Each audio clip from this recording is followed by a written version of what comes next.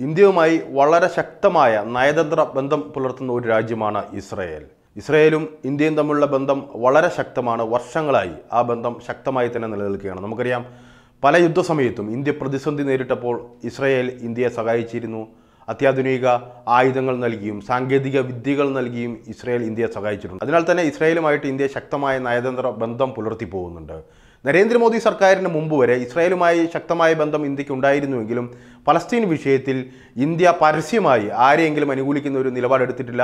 പലസ്തീനിലെ പ്രശ്നം രമ്യമായി പരിഹരിക്കണമെന്ന നിലപാടായിരുന്നു ഇന്ത്യ എടുത്തത്. പക്ഷേ നരേന്ദ്രമോദി അധികാരത്തിൽ വന്നു കഴിഞ്ഞതിൽ പിന്നെ പരസ്യമായി ഇന്ത്യ ഇസ്രായേലിനെ അനുകൂലിക്കുന്ന നിലപാടാണ് എടുത്തത്. എ ബി വാജ്പേയി പോലും പലസ്തീൻ പ്രശ്നം രമ്യമായി പരിഗണിക്കണം എന്ന് പറഞ്ഞ നേതാവായിരുന്നു. അദ്ദേഹം ബി ജെ പിയുടെ പ്രധാനമന്ത്രിയായിരുന്നു. പക്ഷേ നരേന്ദ്രമോദി കേന്ദ്രത്തിൽ അധികാരത്തിൽ വന്നതിന് ശേഷം പലസ്തീനുമായിട്ടുള്ള ബന്ധത്തിൽ വിള്ളൽ വീണു എന്നത് മാത്രമല്ല ഇസ്രായേലുമായുള്ള ബന്ധം വളരെ ദൃഢമാവുകയും ചെയ്തു. നരേന്ദ്രമോദിയുടെ ഏറ്റവും അടുത്ത സുഹൃത്തുക്കളിൽ ഒരാളായിട്ടാണ് ഇസ്രായേൽ പ്രധാനമന്ത്രി അറിയപ്പെടുന്നത്. എന്തായാലും ഇതിനാൽ തന്നെ ഇസ്രായേലുമായിട്ടുള്ള ബന്ധം ഇത്ര ശക്തമായതിനാൽ തന്നെ ഹമാസ് ഇസ്രായേലിന് നേർക്ക് ആക്രമണം നടത്തിയപ്പോൾ അതിൽ പ്രതികരിച്ചുകൊണ്ട് പ്രധാനമന്ത്രി നരേന്ദ്രമോദി രംഗത്ത് വന്നിരുന്നു. അഗാധമായ ദുഃഖം അദ്ദേഹം രേഖപ്പെടുത്തുകയും ഇസ്രായേലിനൊപ്പം ഇന്ത്യ ശക്തമായി നിലകൊള്ളുമെന്ന് വ്യക്തമാക്കുകയും ചെയ്തിരുന്നു. യൂറോപ്യൻ യൂണിയനും അമേരിക്കയും കഴിഞ്ഞാൽ പ്രത്യക്ഷമായ പിന്തുണ പ്രഖ്യാപിച്ച രാജ്യം ഇന്ത്യയാണ്.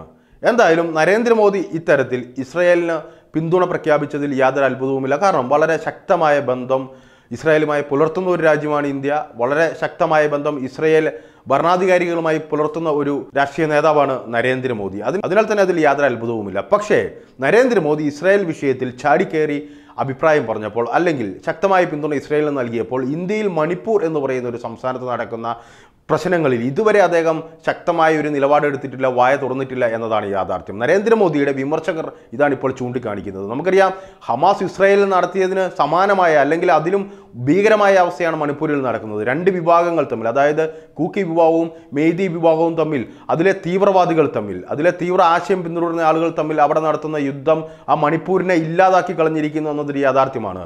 ഇന്നലെ ഇസ്രയേലിൽ ഇസ്രയേൽ പോലീസ് ഉദ്യോഗസ്ഥയെ ഇസ്രായേൽ സൈനിക ഉദ്യോഗസ്ഥയെ അതുപോലെ തന്നെ ഒരു ജർമ്മൻ യുവതിയെയൊക്കെ വളരെ ക്രൂരമായി പീഡിപ്പിച്ചതിനു ശേഷം നഗ്നരാക്കി തെരുവിലൂടെ ഹമാസുകാർ വലിച്ചിഴച്ചു കൊണ്ടുപോകുന്നതിന്റെ വീഡിയോ ദൃശ്യങ്ങൾ പുറത്തു വന്നപ്പോൾ നവമാധ്യമങ്ങളിൽ ബി ജെ പിയുടെയും സൈബർ സംഘപരിവാറിന്റെയും ഒക്കെ ആളുകൾ വളരെ വലിയ രീതിയിൽ പ്രകോപിതരാവുന്നത് നാം കണ്ടു. തീർച്ചയായും ഏതൊരു വ്യക്തിയെയും പ്രകോപിതരാക്കുന്ന ഒരു കാഴ്ച തന്നെയാണിത്. പക്ഷേ എന്തുകൊണ്ടാണ് മണിപ്പൂരിൽ ഇത്തരം ഒരു സംഭവം നടന്നപ്പോൾ ഇവർ പ്രകോപിതരാകാത്തത്?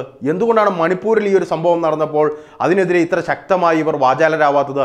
ആ സംഭവത്തെക്കുറിച്ച് ഏതെങ്കിലും സംഘപരിവാർ നേതാക്കൾ മണിപ്പൂർ സർക്കാരിനെ വിമർശിച്ചുകൊണ്ട് രംഗത്ത് വന്നത് നാം കണ്ടിട്ടുണ്ടോ? അല്ലെങ്കിൽ പ്രധാനമന്ത്രി നരേന്ദ്രമോദി ഇന്ന് വരെ ആ മണിപ്പൂരിന് അല്ലെങ്കിൽ പ്രധാനമന്ത്രി നരേന്ദ്രമോദി ഇന്ന് വരെ മണിപ്പൂരിലെ പ്രശ്നങ്ങൾ അടിച്ചമർത്താൻ എന്തെങ്കിലും ചെയ്തതായി കണ്ടിട്ടുണ്ടോ? ഇല്ല എന്നതാണ് സത്യം. അവിടെ കേന്ദ്രസേനയെ വിന്യസിച്ചിട്ടുണ്ട് എന്നതല്ലാതെ ഇതുവരെയും അവരെ അടിച്ചമർത്തുന്ന ഒരു നടപടിയിലേക്ക് പോയിട്ടില്ല എന്നതാണ് യാഥാർത്ഥ്യം. ഹമാസിനെ അടിച്ചമർത്തുവാൻ വേണമെങ്കിൽ സൈനിക സഹായം നൽകുമെന്നൊക്കെയാണ് സംഘപരിവാർ അനുയായികൾ പ്രചരിപ്പിക്കുന്നത്. വേണമെങ്കിൽ സംഘപരിവാർ അനുയായികൾ പോയി യുദ്ധം ചെയ്യുമെന്ന് വരെയാണ് ഫേസ്ബുക്കിലെ അവരുടെ തള്ളുകൾ. പക്ഷേ ഇത്രത്തോളം തള്ളുന്ന അല്ലെങ്കിൽ ഹമാസിനെ ഇല്ലാതാക്കുവാൻ വേണ്ടി ഇവിടുന്ന് സൈനികരെ അടക്കം അയക്കുമെന്ന് പറയുന്ന ഈ സംഘപരിവാറുകാർ എന്തുകൊണ്ട് മണിപ്പൂരിൽ ഈ പ്രശ്നം കണ്ടില്ലെന്ന് നടിക്കുന്നു? മണിപ്പൂരിൽ അതിലും ക്രൂരമായ സംഭവവികാസങ്ങളാണ് അരങ്ങേറിയത്. മണിപ്പൂർ ഒന്നടങ്കം തകർന്ന് തരിപ്പണമായി പോയിരിക്കുകയാണ്. മണിപ്പൂരിൽ എത്രയോ അഭയാർത്ഥികൾ സൃഷ്ടിക്കപ്പെട്ട് കഴിഞ്ഞു ഈ ഒരു പ്രശ്നത്തോടുകൂടി. മണിപ്പൂർ എന്ന് പറയുന്ന ഒരു സ്ഥലത്തെ ഈ പ്രശ്നം പരിഹരിക്കാൻ പരാജയപ്പെട്ട ഒരു പ്രധാനമന്ത്രി ഇസ്രയേലിന്റെ കാര്യത്തിൽ ഇത്ര വളരെ വലിയ രീതിയിൽ വാചാലനാവുന്നതാണ് ഇപ്പോൾ വളരെ വലിയ രീതിയിൽ വിമർശനങ്ങൾ